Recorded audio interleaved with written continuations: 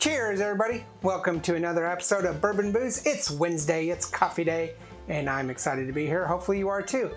So make sure you hit that like and subscribe. It really means a lot to us. Um, go ahead and share that video with everybody too. Tell them, you know, hey, here's this guy reviewing coffee and bourbon and booze. And uh, that'd be, mean a lot to me. So today we're going to be looking at a coffee that you should be able to get just about anywhere, um, I would imagine. And I've actually seen this brand, not specifically this coffee, but this brand in um, overseas in Europe. So I would assume that it's widely available. And that is Community. Community Coffee. Now we have done an episode on Community before, and that was our normal house blend. But this is their dark and bold intense blend dark and bold intense blend. And so this is going to be something rather strong here. It is 100% Arabica beans. It is a very um, dark, rich roasted flavor. Um, they call it a bold, bold roast, um, but it's a rich roast or a dark roast. And it's probably their most intense dark roast.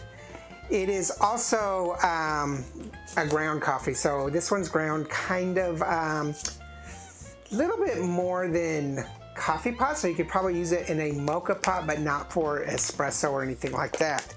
Um, hence why I said that you could probably get this in Europe because of the grind. It is um, relatively moderate price, about $10 for this uh, 12 ounce bag. So let's go ahead and take a look at this. Now, there's no um, bones about it. Out complete transparency. I'm not a big community fan. The community um, roast uh, house blend that we did, I, I thought it was okay. And unfortunately, community is what you get mostly in restaurants here in Texas. Hmm, sorry. Um, communities, Folgers, um, what else? 8 o'clock, and probably Maxwell House are the big ones. Every once in a while you'll find a restaurant that does Starbucks, but not very often. Um, Community is really probably the bigger brand that you will find in restaurants. So when you order a cup of coffee here in Texas, it's probably what you're going to get, unless it's a restaurant that has its house blend. No idea why I just started yawning. I need some coffee. It's Wednesday. I got to go to work. So let's go ahead and get this started. It is a very dark, probably one of the darkest um, coffees I've seen. Can't really see through it and kind of matches the package there, really black. Pretty intense coffee um, aroma.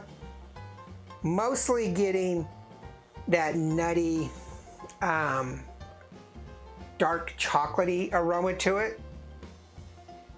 No real bitterness. Um, no caramel.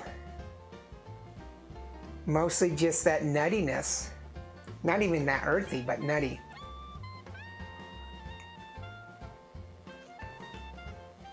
Pretty robust flavor. I actually like this coffee.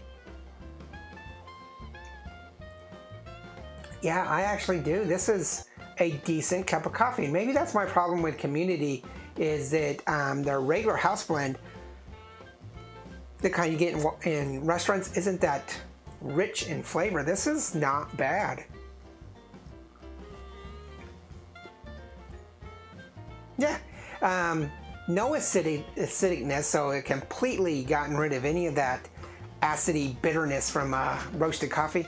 It is very um, rich, but not overly flavorful. So I'm not really getting the caramel or the chocolate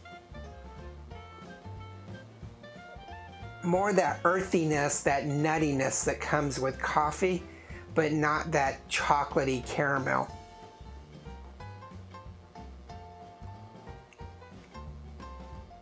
But I think this would be a really good um, morning coffee. It doesn't really give a caffeine level, which I really wish coffees would. Um, some craft coffees will give caffeine levels, you know, like, I don't know, probably the one you can see in grocery stores a lot is Death Wish. Oh, wow. But it would be really nice if um, it gave a caffeine level. Says a rich roasted flavor with a smooth, deep finish. Hmm.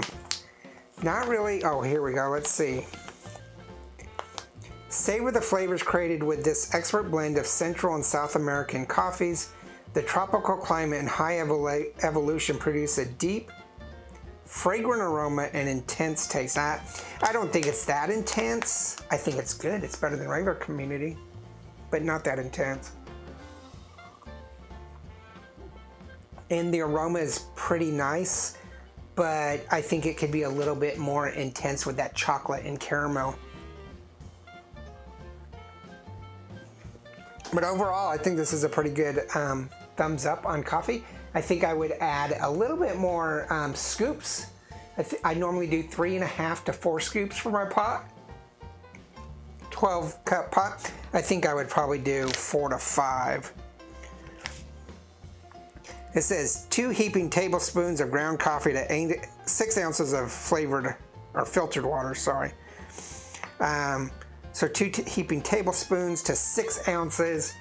Yeah, this is probably gonna be a five or six um, scoop, not tablespoons of coffee.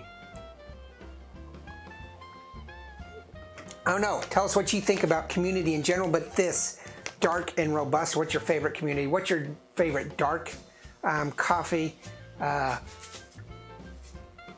can't really say what mine is. I've been really impressed with the uh, mashups. we you can check some of those up. Those are pretty good. Um, the chameleon is pretty good. Um, Folger silk, that's pretty good. That's their dark. So tell us what you think about Community's dark roast. Uh, what's your favorite, um, you know, really dark coffee? Um, make sure you. I am not ready for work. Make sure you check out all of our other videos Monday through Friday. Uh, we are um, having a good scotch tomorrow, so check that out.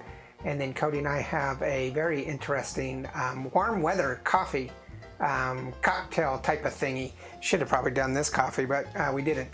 Uh, we've already filmed that because we're running into the weekend and the holiday and beginning to do holiday shopping and getting ready for Thanksgiving. And so, so we filmed that one a little bit earlier. Um, but look forward to that and then uh, have a great weekend and holiday. But we'll see you tomorrow for a whiskey. Oh, check out Instagram, Facebook, Twitter, TikTok, and merchandise. Cheers!